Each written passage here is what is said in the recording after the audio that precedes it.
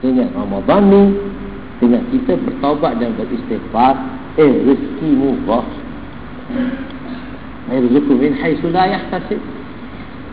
Allah bagi rezeki murah kalau kita rezeki murah tak nampak eh projek menjadi.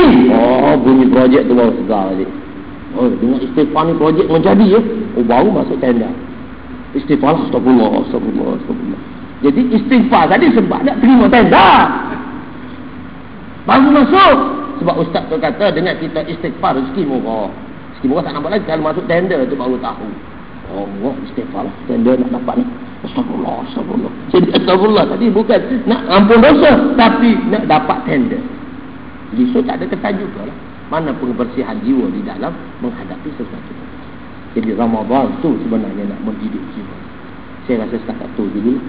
Jadi macam mana kematian yang kita harus hadapi Ramadan inilah untuk kita membentuk jiwa dan kita laluilah dengan masa 2-3 hari ini kisah pengampunan maka minta lah banyak-banyak pengampunan daripada Allah Subhanahu Taala.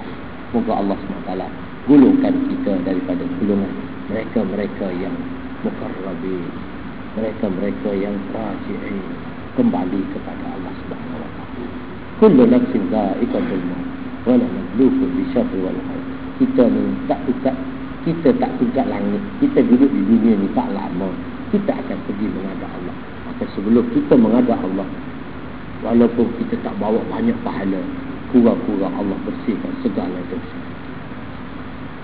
Itulah masa kita tua kita kena banyak harap masa kita muda kita kena banyak takut.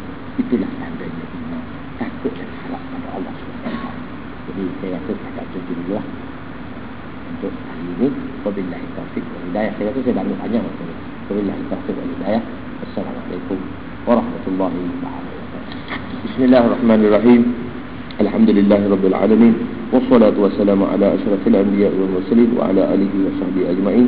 Ya Allah ya Tuhan kami ampunilah dosa-dosa kami.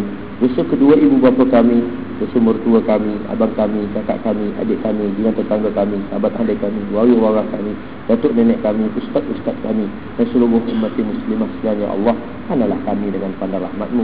Ya Allah, janganlah dengan kesilapan dan dosa-dosa kami, engkau mahrum dan engkau singkirkan kami daripada rahmatmu.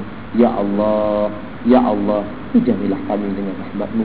Ya Allah, curahilah kami dengan ampunanmu, Ya Allah.